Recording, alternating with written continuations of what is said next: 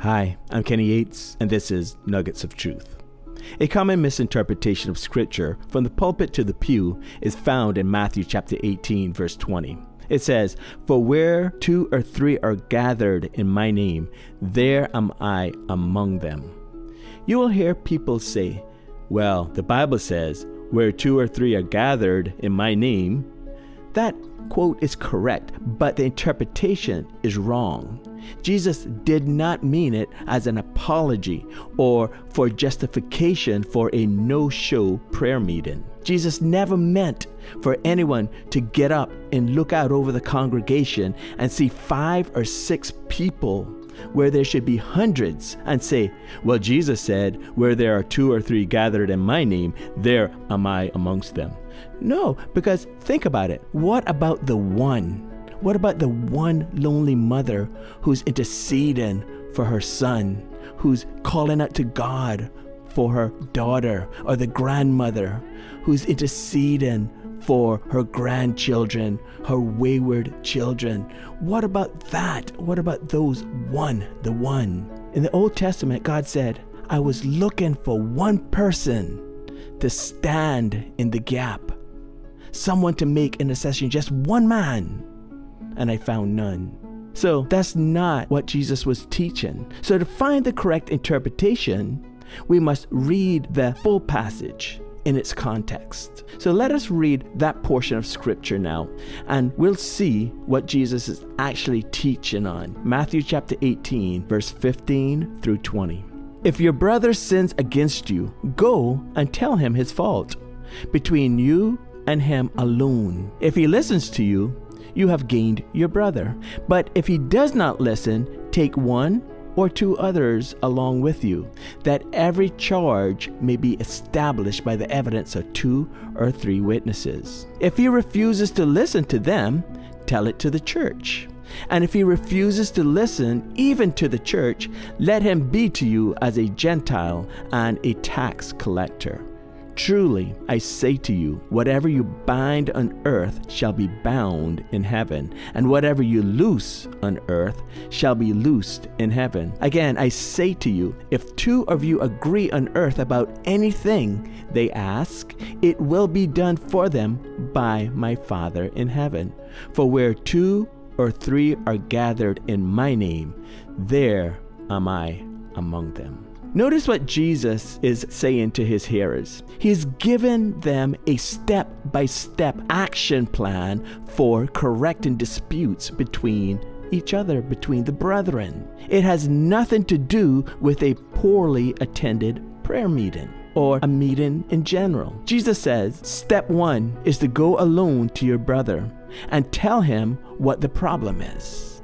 That gives your brother a chance to either apologize and say, I was wrong. Please forgive me. Or to explain his point of view. It could be that it was you who actually caused the offense in the first place.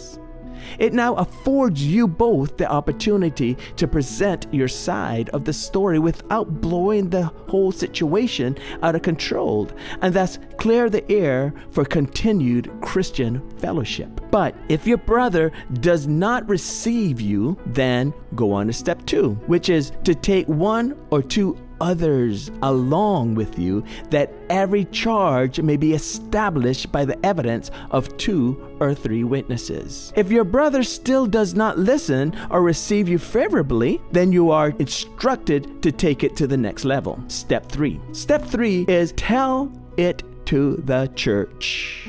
If for whatever reason your brother still is closed on the matter of clearing the air, then you are to activate step four. Treat him as you would a Gentile and a tax collector. Jews did not associate with either one, they kept themselves separate from them. Jesus used this expression allegorically or figuratively as something that was easy for his hearers to understand, not to separate or divide the people. That was not Jesus' intention. He was teaching the people how to act or how to treat that person who refused to clear the air, who refused to reunite with his brother, solve the issues that they have between them. Peter tells Cornelius in Acts chapter 10, verse 28 and 29 you yourself know how unlawful it is for a Jew to associate with or to visit anyone of another nation. But God has shown me that I should not call any person common or unclean. So when I was sent for, I came without objection. I ask then why you sent for me.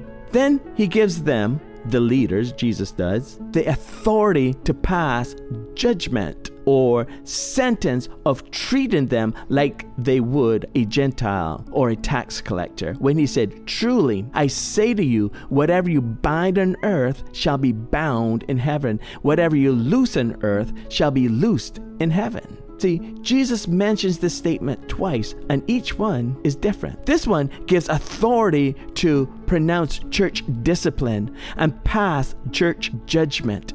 We will do a more in depth study on the two in an upcoming video, so look out for that. But for now, Jesus solidifies it with For where two or three are gathered in my name, there am I among them. He is saying the church has the authority to administer church discipline to its members. Jesus did not come up with two or three arbitrarily. He was referring back to the law. Look at Deuteronomy chapter 17, verse 6. On the evidence of two witnesses or of three witnesses, the one who is to die shall be put to death. A person shall not be put to death on the evidence of one witness. Paul also uses the same kind of phrasing in his letter to the Corinthians, 1 Corinthians chapter 5, verse 3 through 5. For though absent in body, I am present in spirit, and as if present, I have already pronounced judgment on the one who did such a thing. When you are assembled in the name of the Lord Jesus, and my spirit is present with the power of our Lord Jesus, you are to deliver this man to Satan for the destruction of the flesh, so that his spirit may be saved in the day of the Lord. Paul was explaining church discipline to the Corinthians. Also, let us take one more look at 2 Corinthians chapter 3 verse 1 through 2. This is the third time I'm coming to you.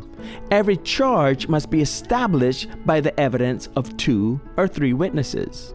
I warned those who sinned before and all the others, and I warn them now while absent, as I did when present on my second visit, that if I come again, I will not spare them. Again, it is the same principle. Where two or three are gathered in the name of Jesus, the church has the authority to extend church discipline to an offending brother or sister. Let me summarize everything I have said. I said that the verse where two or three are gathered is not a biblical excuse for a poorly attended church meeting. It is referring to the bare minimum of witnesses that is required to pass judgment or to execute church discipline on a fellow church member. The two or three minimum rule was established from the time of the law so as to ensure that true justice is being served and not someone being vindictive for vengeance sake. Paul also instructed the same rule when he instructed the Corinthians on how to deal with the sexual sins that were present in the Corinthian church. If you like this video, please hit the like button and then share it with your friends. Also, if you hit the subscribe button and click the notification bell, you will be ensured to never miss any of our posts whenever we upload a new video. If you want to grow your relationship with God and have a daily devotional sent directly to your phone or email, subscribe to our website, holdtohope.org, or join our Telegram channel, Hold to Hope. We also have a quiz channel that you can have some fun while testing your Bible knowledge skills with our Bible quiz. Thank you so much for watching this video. I'm Kenny Yates, and this was Nuggets of Truth. Until next time, be blessed and stay blessed.